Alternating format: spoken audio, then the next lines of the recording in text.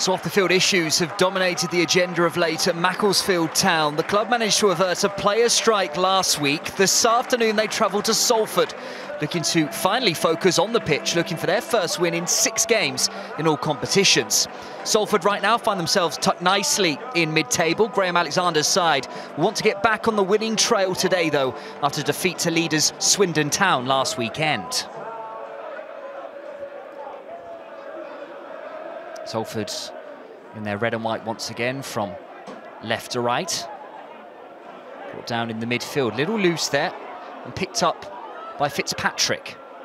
Feeding Stevens, Fitzpatrick drills a cross across the face of goal, but it was always rising. Loose from Salford, out from the back. There was Fitzpatrick picking the ball up, just left of centre. Trying to just shape it across the face of goal. Got it all wrong, though. Moor Lane hoping for a good result today. They've won only two of their last eight home league matches. Salford delivered into the danger area and flicked on and just over the bar. Bit of a slow tempo to proceedings right now in this action. Can Jervis change that, though? Down off the left-hand side, brought down on the edge of the penalty area. And Matt Donohue, the referee, quick to give a free kick. It's Jervis that stands over it, in fact. The likes of Pond and Cameron Burgess up from the back. A couple of yards in from that far touch line. Jervis into the danger area.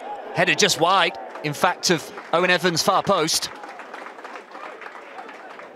Lost their last couple of away games. No wins in five in all competitions for Daryl McMahon's side. They pick the ball up here with McCourt. Edge of the box, shoots goalwards, and it's a decent save low to his left-hand side by Chris Neal, the goalkeeper.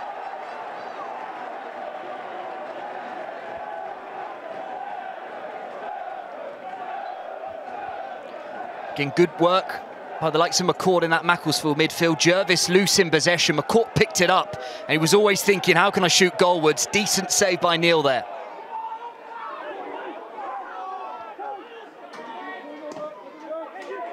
A slow tempo to proceedings at times, unfortunately, between these two sides.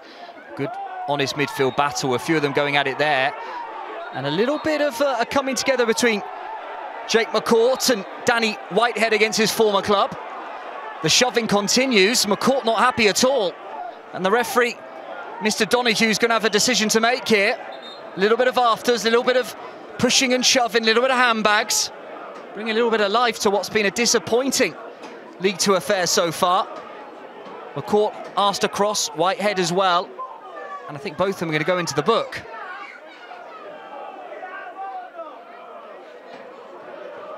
And the first ever meeting between these two sides.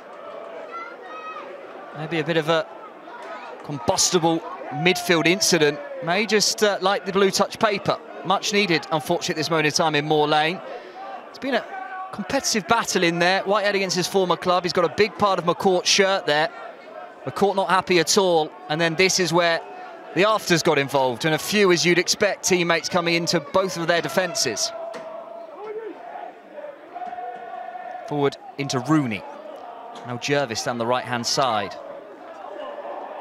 On the right flank, decent delivery and blocked behind for a corner. Pressure for Salford here. Scored 12 goals from set pieces this season, Salford, second most in League Two. Can they profit from another one here?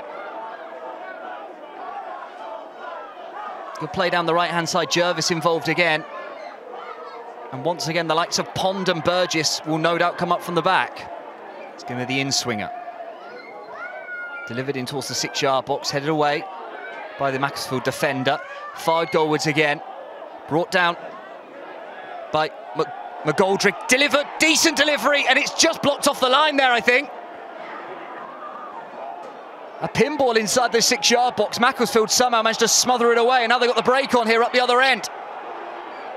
Mani Osadebe leading the charge for Macclesfield on the counter. McCourt up with him. Osadebe goes himself, blocked away off the backside of Nathan Pond. And this game has come to life finally. Little ball looking for Lloyd McGoldrick there, and this time diving at his feet was Owen Evans, the keeper on loan from Wigan. finally some incident and goalmouth action. Torre. Guarding from his left side. Again, looking for Thomas Asante on this occasion. Drew it away by Macclesfield. Dan Lloyd McGoldrick, he's brought something different since coming on. And it was, in the end, just diverted away off the goal line.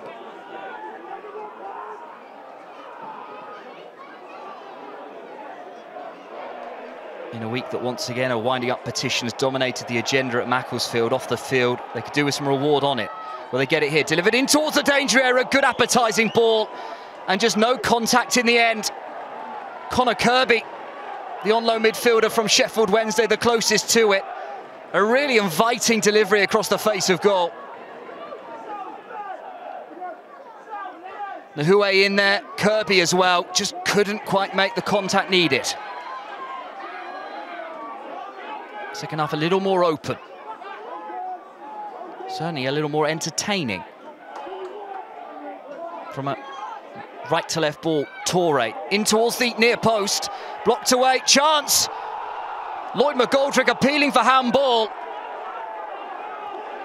I don't think he's going to get it. Nathan Cameron, the big bulldozing Macclesfield centre half, with a brave block, taking it, I think, in that painful area, you know which one I'm talking about. Appeals for handball, falling on faint ears. First, the header by Cameron was good, and the block was even braver, even better.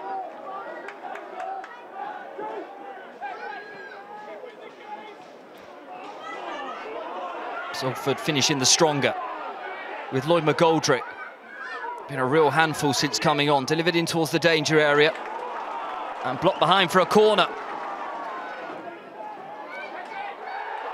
And again, a coming together at the far post. Mr. Donohue, the referee's had a busy afternoon this time. A collision between Pond and a Macclesfield defender, and the referee waves play on. Goalmouth action in this second half.